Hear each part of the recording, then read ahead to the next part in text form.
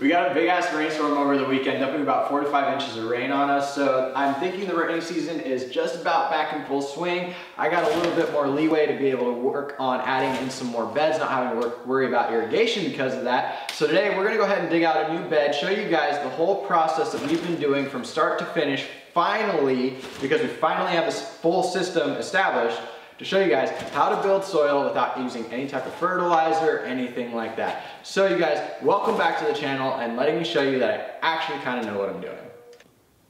One of the hard parts about building soil has been just trying to keep everything protected. We've got a lot of issues with things like squirrels and stuff that come through the property.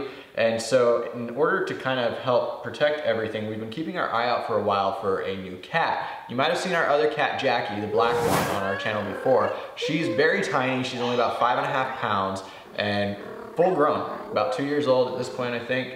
And so clearly too small to be let outside and be able to be our little pest control mm-hmm. cat for the garden. She works great inside, but not going outside. So we picked up Joey Luciano right here.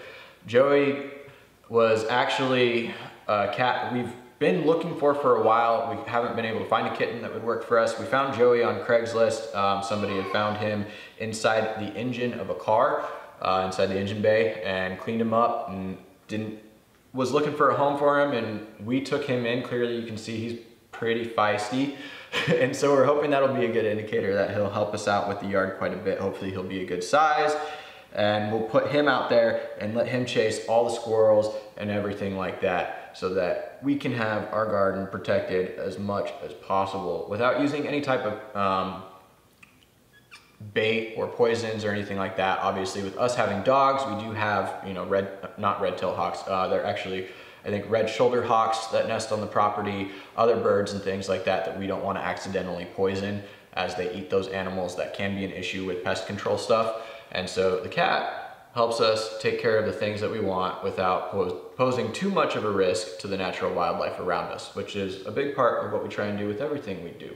Just like in building our soil without using any type of chemicals to poison other things around us. See the kind of common theme? Anyways, so this is Joey. He's gonna grow up and eventually work his way to being outside and protecting the garden. So let's get out there and show you the rest.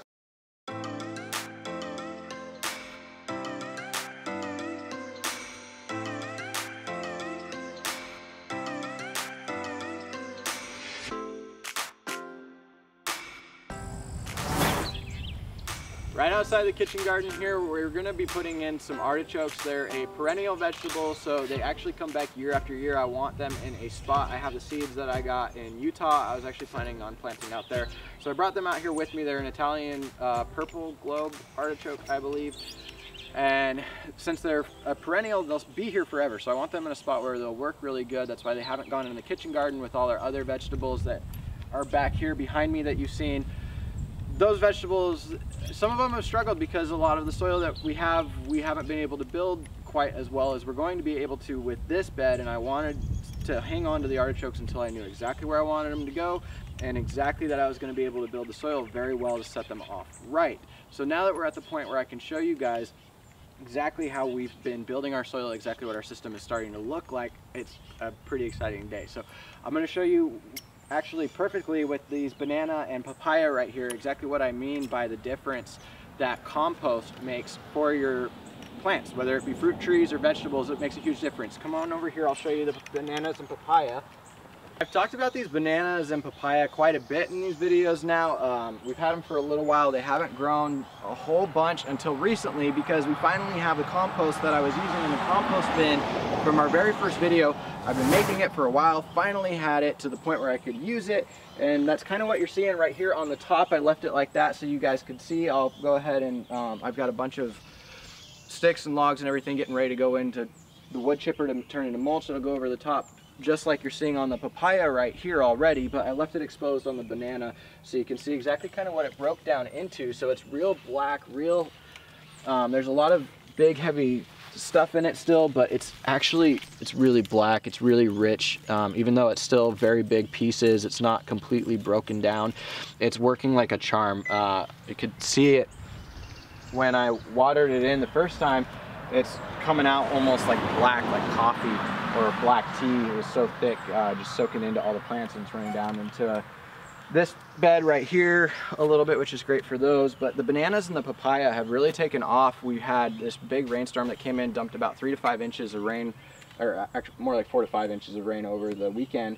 And these three trees that all got the good compost in right before it have just exploded ever since. The trunks on like the papaya have really thickened out and they've gained quite a bit of height and compared to a lot of the other plants that haven't had any compost on them. And so it's great that these are all in this area right at this time to show you guys kind of a comparison because you'll see like this banana right here, this is a Namwa, and you can see how thick the trunk is right now and how tall it is compared to this double Mahoi banana over here that's actually been in the ground longer hasn't had the compost added to it, has had a little bit of food scraps added to the top, but not much.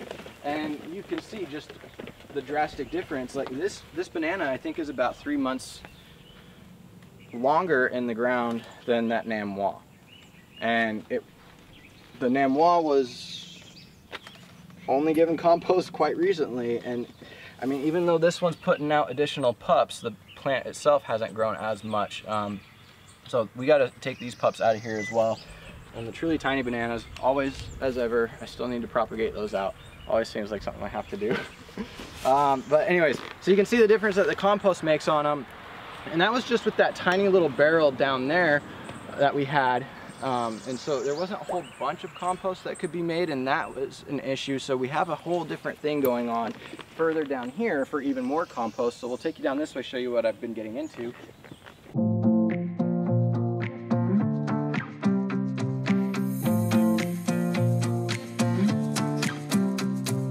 Clearly the barrel isn't cutting it just with the size and amount of plants that we have for how much compost we need. So one of the solutions that we've come up with is I started creating another compost pile out here in the back that was even bigger and it's recently grown a lot. Um, this is all leaves and stuff that I brought over from my neighbor's house. One of my neighbors has been trying to clear out the leaves from her yard and has been needing to try and like rent a dumpster to get them hauled out. And so rather than her having to pay a whole dumpster, I found out that, um, you know, was talking to her. She said she didn't spray anything in her yard. I've never seen her spray in the almost year that we've lived here. So I went ahead and took all of her stuff for her. Um, and I keep doing that, just picking up her garbage cans she leaves on the side of the, the street so I can go pick them up and get mulch from her, or get the leaves from her that I put in here. Um, you might be able to see the pine shavings on top that are from the chickens when I had them in the tub. It's the last of their stuff with their poop and things on there. So I'm mixing in like a lot of our food scraps, our coffee grinds, and everything from the chickens in here. So you're seeing like the leaves in here that you're seeing, a lot of them too. I mean, I have them all over my property. I could go rake it up but I have to cut back a lot of this overgrowth in the wood line to get access to it. And I mean, my neighbor's getting rid of it anyways. It's right across the street. I might as well just grab them from her. Uh, she's always gonna have leaves falling and she's always going to have need to get rid of them and I'm always going to have need for the organic matter to try and turn into compost and mulch. So it works great for both of us. Uh, mutually beneficial relationship. now, adding in the leaves gives us the browns, which means we need greens and stuff like the chicken poop and um, any type of fresh cuttings like my grass clippings, my coffee grinds, any type of vegetables that we ate but didn't um, fry up in oil and stuff like that we can throw out here. You can compost things like meat, dairy, and things that have been fried in oil but from what I understand, the big concern is wildlife gets attracted to the smells and things that get, get emitted from more animal-based proteins and stuff. And so we have a lot of wildlife around our property. We tend not to compost those things because we don't have a fence and the amount of wildlife that's already around our property. And so we use mostly just like our coffee grinds, grass cuttings, and our chicken poop, which has actually been one of the recent things that we've gotten are now outside. So I'll show you guys kind of an update on the chickens too.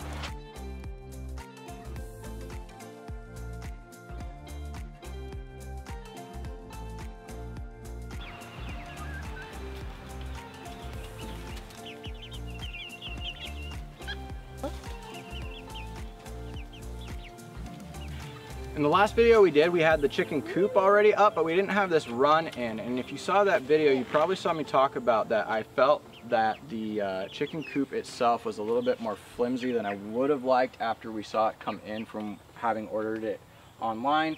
And so we went ahead and put in an additional run just because, like I said, we have so much wildlife around our property that I wanted that extra protection for the chickens.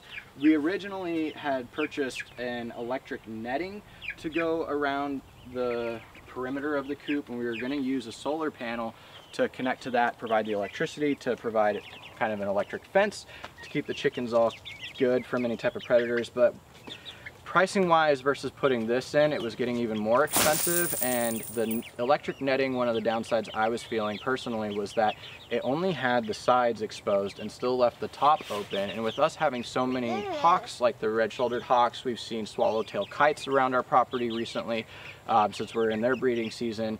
We keep not getting those on camera. It's really frustrating, but they're so cool. Find them on Google or Olivia post a picture in here to show you guys kind of what they look like, but they're amazing. We wish we could get them on camera. We keep trying and they disappear as soon as we see them. They're like UFOs, it's crazy. Um, but you know, providing this whole run in here provides them that additional coverage over the top so that we don't have to worry so much of any kind of hawk or, I mean, raccoons, squirrels, whatever, possums can climb in over the top, same with snakes. Um, I mean, Obviously it's not foolproof yet. We still have some additional things to do. I want to drop in logs or cinder blocks down around the ground area to provide some additional coverage so that it makes it harder for things to dig on the underside as well. So clearly there's still some things to do, but this is much added protection that allows me to feel comfortable putting the chickens outside rather than having them in the garage or in the house all the time and moving them outside. Uh, great timing because they are getting bigger to the point where the tub wasn't working as great at night for them to sleep. So like the chickens love having all the extra space to be able to run out here. I don't have to keep an eye on them as much to let them have some more space to stretch their legs. They're much happier this way. They get out and get to eat all the bugs and things. Um, like I said, I'm using a lot of the leaves that are around this area for their bedding right now, just so that I can then scrape them out with the chicken poop mixed in and add it right into the compost pile and to me that makes a much more sustainable source for bedding for the chickens. I mean they're essentially descended from pheasants anyways so they're forest kind of woodland fowl by nature even though they're domesticated so the leaves make sense to me to work for them kind of naturally. It gives it more sustainable. I don't have to spend any money on bedding that way. I just break up some leaves throw it in there. It, um, it puts in bugs for them to be able to eat as well in my mind and then I just break it down and compost it every two weeks once it's done. That's about how long I'm doing it right now with the size they're at. If, as they get bigger I'll probably have to do it quicker but they love the space having more to be able to roam around and with how big this coop is um, Olivia and I have been talking about it and we think we're gonna get about five more chickens here in the next couple weeks to finish off this coop and that'll be good with the run a good solid 12 for our setup here. I mean, they just seem happy with everything going on and they love being outside, especially Mildred, the one down there that kind of has like the hawk feather pattern to her. I mean, the coloration looks like a hawk to me. So I think she's pretty and she's the Welsummer and she actually seems to be the best and most excited at getting out and kind of foraging and more free ranging, which is what I've kind of found from what I've been learning about the different breeds of chickens that we've gotten is it seems the Welsummer is actually considered to be kind of a royalty breed over in the British family. I guess there's some possibility that the British royal family uses them a lot in the flock. They really like the Welsummer for their ability to free range and things like that. And I've definitely noticed it with her compared to the others like the Easter Egger and the Marans are the others that are better at free ranging, but definitely the Welsummer by far the best. So that's enough of the chickens. Next.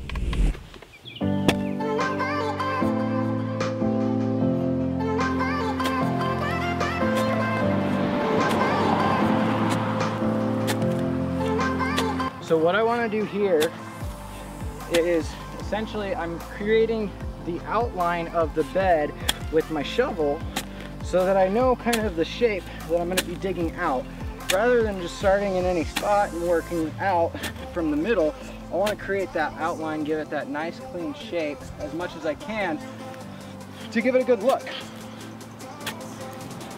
Keeps things more uniform, also helps with productivity because you know the exact shape, you don't have odd shaped things. Um, a lot of the time you probably want to use something to mark this out, whether it would be either like a string line or spray paint, anything like that.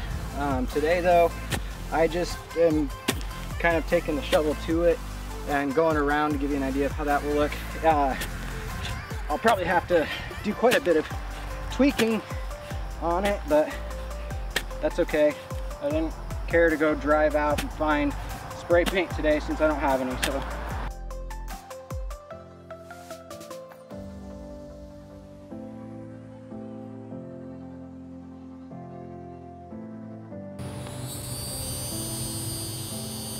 What I want to be doing is I'm not really digging very deep. I'm just digging this one time. This is the only time I'm ever going to dig this bed is just the very beginning and it's just to get things like the grass from when the construction guys were putting in the sod and stuff and just trying to get deep enough, you know, down an inch or two just to get the roots of as much of this stuff as I can so that it doesn't come back any more than absolutely necessary. You'll see you know, some of the beds on the property have more grass or more weeds in them than others, and that's where we've been more successful about how much stuff we can take out versus in other spots. So the more of the stuff you can get out, the better, because it saves you more time trying to get rid of it all in the long run.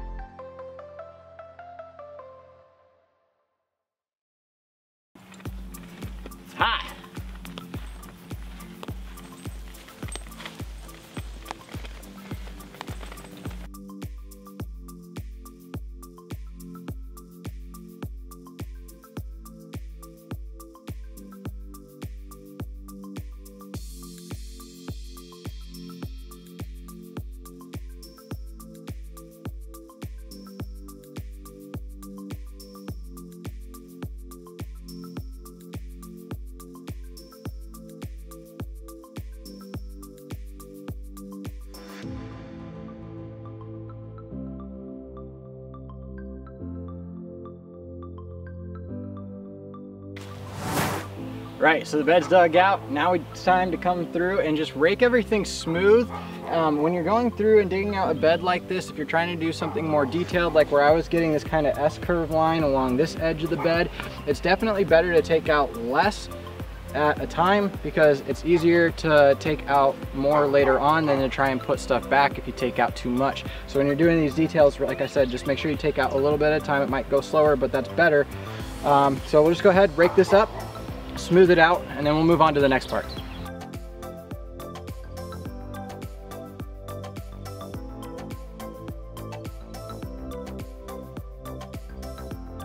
Now that the bed is smoothed out, we got some of the lines dug out with the shovel. I'll go ahead and dig the last one just to show you guys what I'm doing. But essentially, what I'm gonna do here is the same thing I've been doing on all my beds where I've been adding sunflowers, is I'm gonna take the shovel and you'll see with some of these other lines that essentially what I'm gonna do is I'm just gonna kind of find the spot where I want it to go, put the shovel in there kind of at an angle, just about an inch or two into the ground. You don't wanna go too deep and then I'm just gonna kind of pull and scrape along kind of the line where I want my seeds to be going rather than digging out individual holes.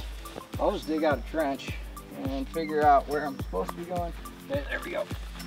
Bring it back around here and then down through here.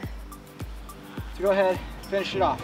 And so what I'll do at this point is I've got three different types of sunflower seeds that I'm gonna be bringing in here. I've got two different wet red ones and a white one. The white is an Italian white sunflower. The reds are Velvet Queen and Red Sun. So I'm gonna do kind of alternating rows of like a red, a white, another red, a white, another red, a white, all the way down through this bed through each of the rows and then I'll just come back through, kick the dirt back over the top. I don't even got to bend over, water it in, and that's all it is, really. So I'm gonna go ahead, start planting those seeds, and then we'll come back and talk to you guys about a recap of everything that we've been through and what comes next. So let's get to it.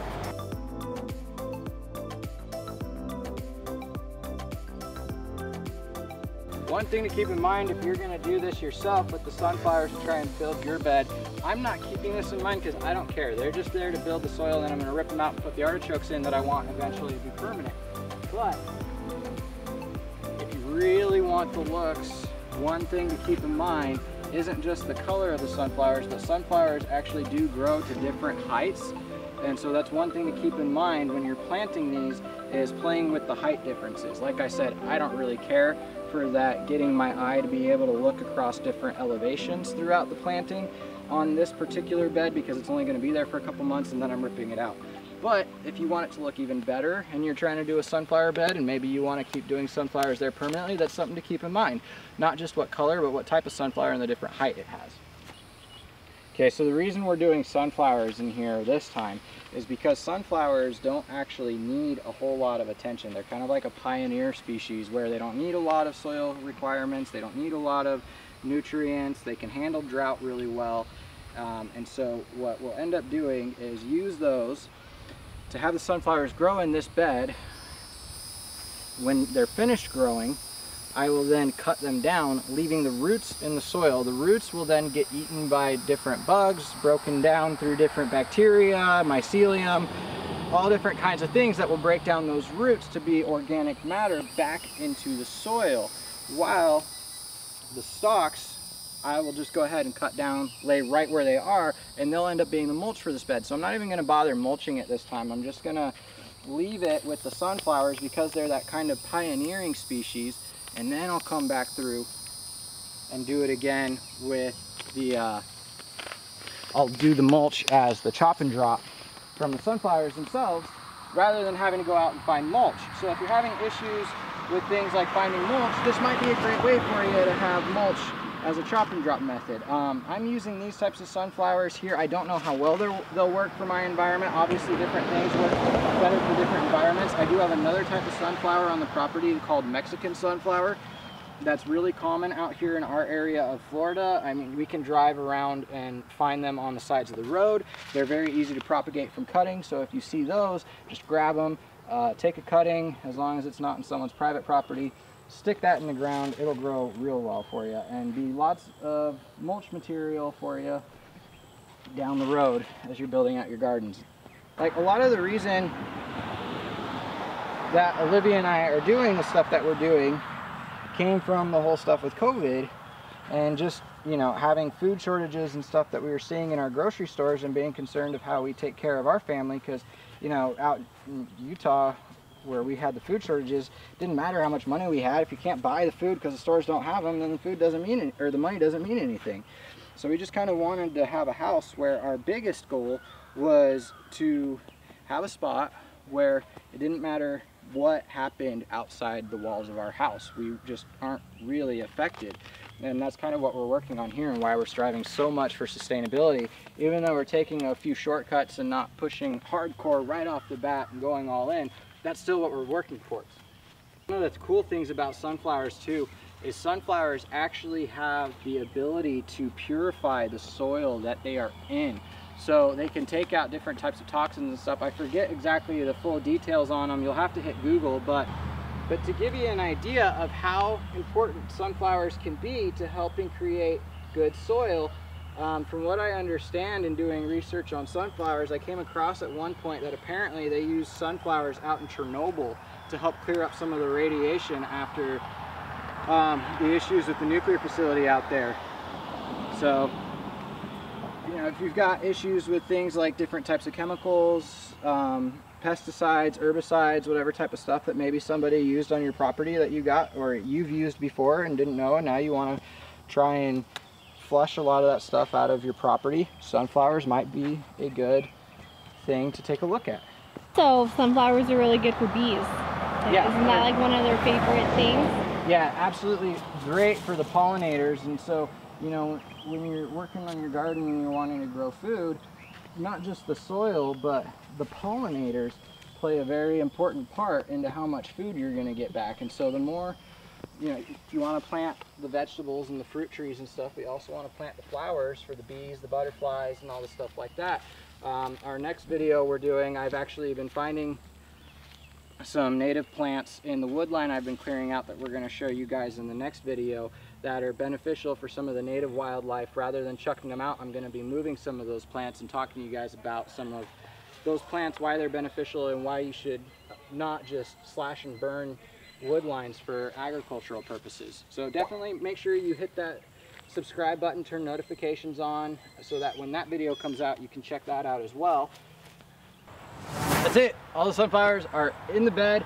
So a quick recap on how to build soil. The main things you need to do first, dig out the bed, and then go ahead take out all that grass all the stuff that's in there. Just go down a couple inches to get the roots out scrape the bed to get it nice and even and then go ahead and plant. When you're planting you want to use a kind of pioneering crop like a sunflower that'll allow you to get roots in there and start getting organic material in there and then you can just chop it as it gets bigger to lay it down as mulch to keep adding organic matter in there. Once that's done you can run chickens through this area to help mix that all in together even better add their poop things like that. And then that's it. You don't have to dig the bed ever again. Guys, I know it looks like a ton of work. I was out here for two days, went through like six bandanas because I was sweating so much. It's like I'm swimming out here.